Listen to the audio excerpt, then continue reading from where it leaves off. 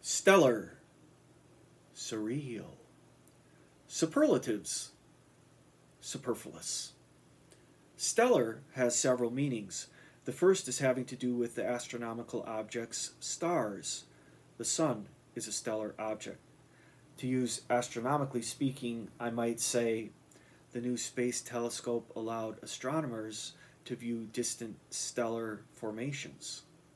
Stellar also refers metaphorically to stars in different fields of human endeavor, such as stars in entertainment, sports, academics, business. I might say the 2009 movie Public Enemies featured the stellar actor Johnny Depp and the stellar director Michael Mann. Or I might say that award winning stellar professor taught so many people so much. Then the third way to use stellar, or the third meaning of stellar, is as a general superlative to describe something that is star like, something that is awesome, or something that is excellent or outstanding. So I might say, that entire trip to Central America was a stellar experience. Or I might say, that eight course meal was absolutely stellar. Surreal has several meanings. The first is referring to the cultural and artistic avant garde movement of surrealism. Surrealism combined elements of reality and actuality with elements of the fantastic or imaginary or dreamlike. So that combination of the real and unreal was one of the defining characteristics of surrealism. One of the great examples of surreal art is this amazing, stellar, surreal painting by Salvador Dali. This painting is housed at the Museum of Modern Art in New York City and was painted in 1931.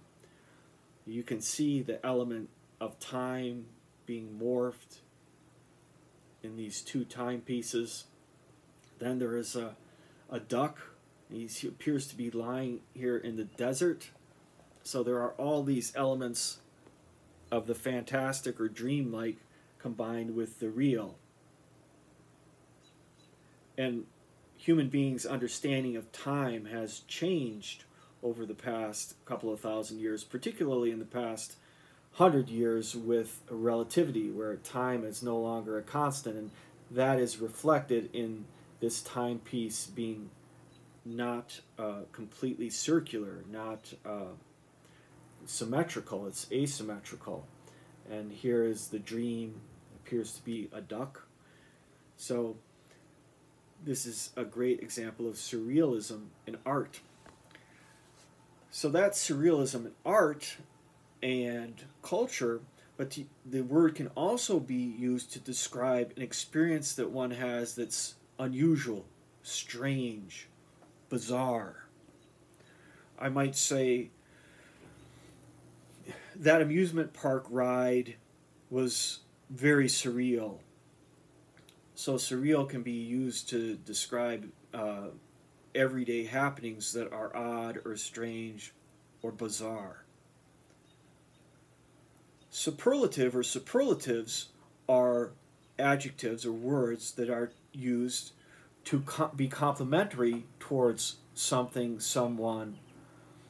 As superlatives, an example of a superlative would be great, fantastic, wonderful, awesome, beautiful, magnificent, stellar.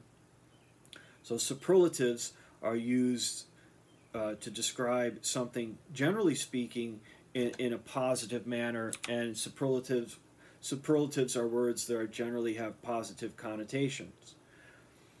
An example of using uh, so that's what superlatives are, but to use the word superlative,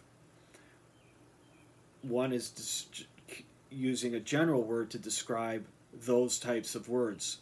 For instance, I might say, that performance was so fantastic that I don't have enough superlatives to describe it. Or that movie, I don't have enough superlatives to describe that movie. I also might say, when talking about Dale's work performance, please don't use superlatives because Dale, as good as he is when he's at work, he calls in sick half the time. So skip the skip the superlatives.